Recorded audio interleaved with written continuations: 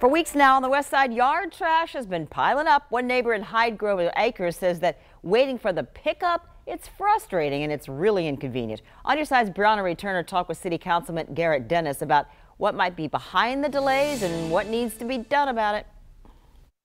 Trash cans filled with yard waste along the streets of this Jacksonville neighborhood. It's just, it's starting to kill people's grass and, and it's just stacking up. I've got yard work I want to do, but I don't have any place to put it. Peter Jansson lives in Hyde Grove Acres and says the trash has been sitting for weeks. Here a little over a week and a half ago, and I know that that filled up my cans, and you know now I'm down to no uh, household trash can. Jansson says he's lived in this neighborhood for over two decades, and yard trash pickup has never been a problem until this year. Each week I've reached out to the city. The first time they told me to.